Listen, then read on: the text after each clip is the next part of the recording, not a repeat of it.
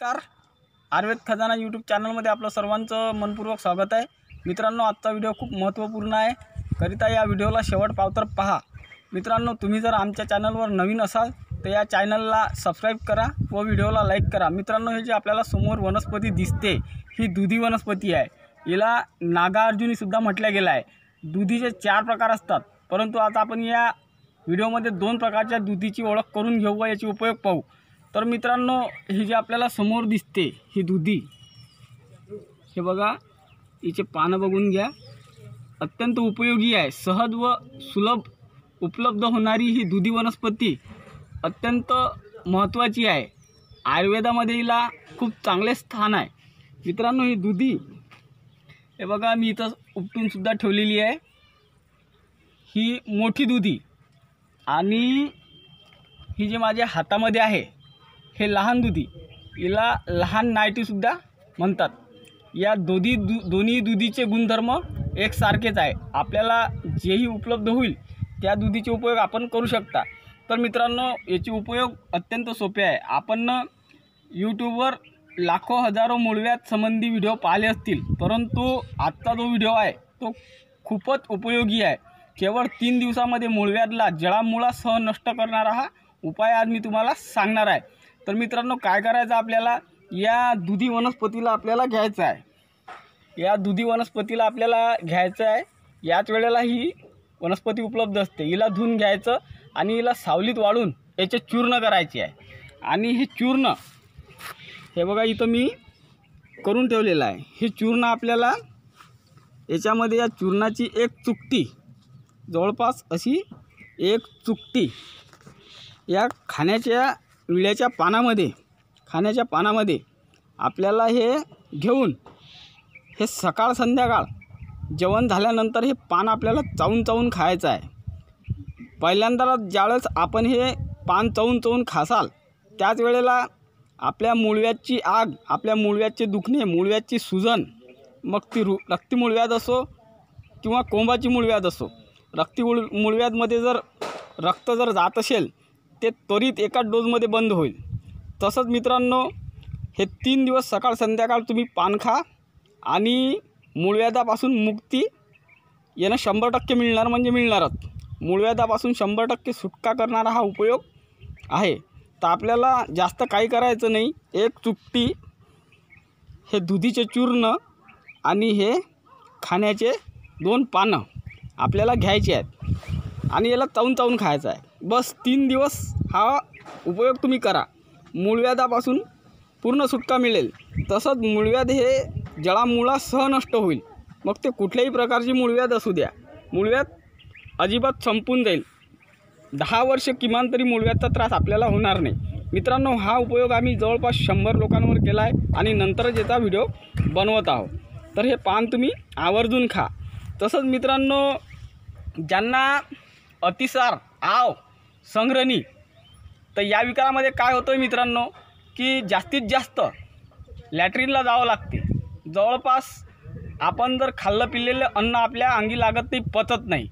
व दिवसातून आठ ते दहा वेळेस लॅट्रिनला जावं लागते.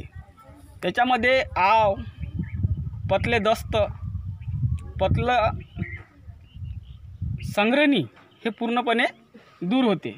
तर संग्रहणीसाठी काय करायचं आहे या दुधीचे चूर्ण आपल्याला पाण्यासोबत एक एक चुकटी सकाळ संध्याकाळ किंवा अर्धा अर्धा चम्मच तुम्ही घेऊ शकता. याचा कुठलाच साईड इफेक्ट नाही. सकाळ संध्याकाळ आपण हा एकवीस दिवस प्रयोग करा. आपला अतिसार आव संग्रहणी हे कितीकही जुनी जरी असली तर याने समूळ नष्ट होईल. याची पक्की गॅरंटी मित्रांनो. तसंच मित्रांनो ज्या माझ्या मित्रांची कामशक्ती ज्यांचे ज्यांना कमजोरी आहे ज्यांची कामशक्ती अत्यंत कमजोर आहे ज्यांचे स्पर्म काउंट शुक्रजंतू अत्यंत क्षीण व कमजोर आहेत. अशा लोकांसाठी काय करायचं आहे? आपल्याला या दुधीचे चूर्ण करायचे आहे. आणि हे बघा हे खळी साखर. तर या खळी साखरचे चूर्ण आपल्याला करायचे आहे. दुधीचे चूर्ण शंभर ग्रॅम व खळी साखरेचे चूर्ण शंभर ग्रॅम. हे आपल्याला दोन्ही एकत्र करून याचे एक चम्मच जवळपास आपल्याला एक चम्मच या दुधामध्ये आपल्याला सकाळ संध्याकाळ घ्यायचं आहे.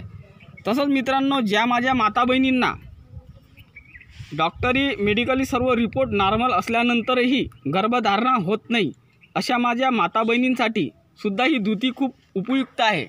तर या दुधीला आपण सर्वात अगोदर उपटून धुवून हिला सावलीत वाळवा आणि याचे हे असे चूर्ण करा. आणि हे चूर्ण करून सकाळ संध्याकाळ एक एक चम्मच चूर्ण आपल्याला दुधामध्ये आपल्याला हे चूर्ण दुधामध्ये टाकून हे दूध उकळून घ्यायचे आहे. आणि दोन कप दुधाचे अर्धा कप राहिल्यानंतर किंवा एक कप राहिल्यानंतर हे आपल्याला सकाळ संध्याकाळ घ्यायचे आहे. तीन वेळा हा तीन एम सीला हा प्रयोग करा. हा प्रयोग कधी कराल?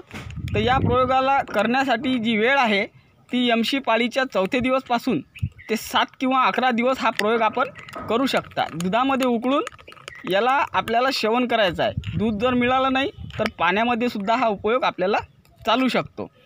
तसंच मित्रांनो ज्यांना ज्यांचे टक्कल पडले असेल ज्यांचे टाल पडले असेल तर अशा लोकांनी काय करायचं आहे? या लहान दुधीला आपल्याला घ्यायचं आहे.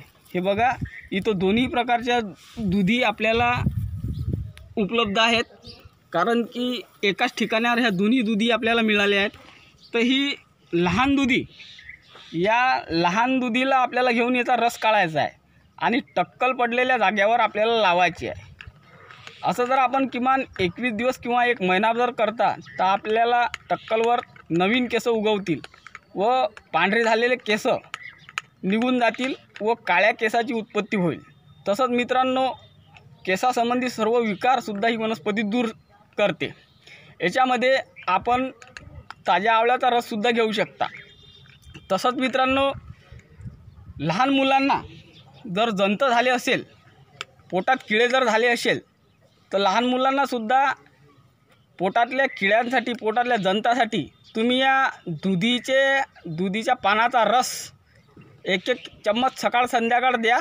पोटातले जंत सकाळी घ्या आणि संध्याकाळी पोटातले जंत किडे सर्व निघून जातील. शौचा वाटे सर्व जनता निघून जातील. आणि पुन्हा जनताची शिकायत हे होणार नाही. मित्रांनो ही वनस्पती आयुर्वेददृष्ट्या खूप उपयोगी आहे.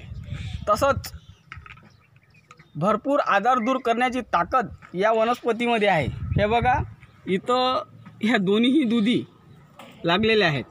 बाबा ही मोठी नागार्जुनी दुधी आणि याला नायटी म्हटलं जातं. आपण याची नीट ओळख करून घ्या. मित्रांनो आमचे जे उपयोग असतात ते अगोदर आम्ही इतर लोकांवर अनुभवतो व नंतरच याचा व्हिडिओ बनवतो. ते बघा दोन्हीही दुधी आपण एकसारख्या बघू शकता. ह्या दोन्ही दुधी गुणधर्मामध्ये सारख्याच आहेत.